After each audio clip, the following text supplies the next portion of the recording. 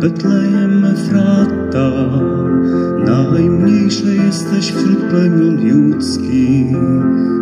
Z ciebie wyjdzie dla mnie ten, który będzie władał w Izraelu, a pochodzenie jego od początku, od dni wieczności.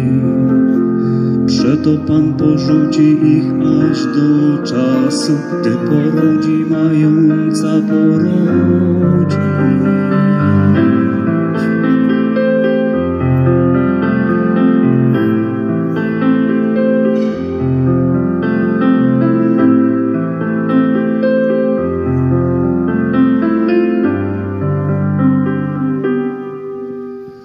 Wtedy reszta braci jego powróci do synów Izraela.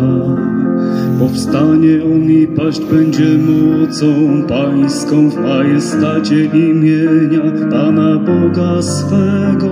Osiądą wtedy, bo odtąd rozciągnie swą potęgę aż po krańce ziemi, a ten będzie pokoju.